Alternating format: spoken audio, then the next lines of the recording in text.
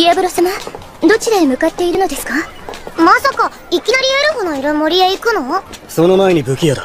武器屋？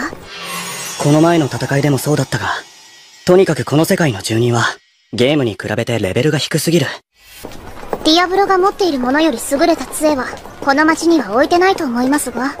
貴様らの基準で判断するな俺には考えがあるのだ国家騎士の前で相手をうっかり殺しちゃったりしたらシャレにならんし手加減しやすい武器を買う必要があるのだ。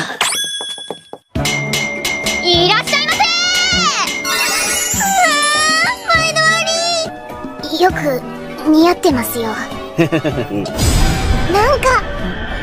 ごいの買ったね。外見重視の雑魚性能だ。だがそれがいい。この後はどうされるのですか？そうだな。次は道具屋でポーションの材料でも買うか。戦わずして済めばよいがもしもに備えて準備はしておいた方がいいだろう。